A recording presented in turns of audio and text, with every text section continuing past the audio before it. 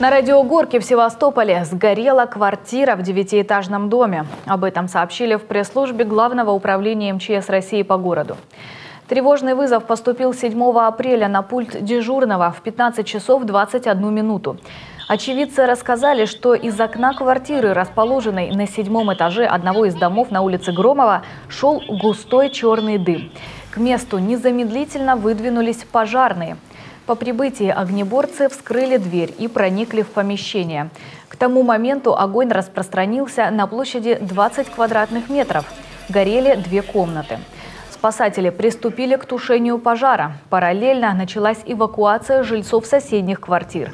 Всего на свежий воздух вывели четверо человек. Также стало известно, что до прибытия подразделений из квартиры самостоятельно вышла 14-летняя девушка. Бригада скорой помощи не выявила у нее каких-либо травм. В 16.08 пожар ликвидировали полностью, погибших и пострадавших нет. Причины происшествия выясняются.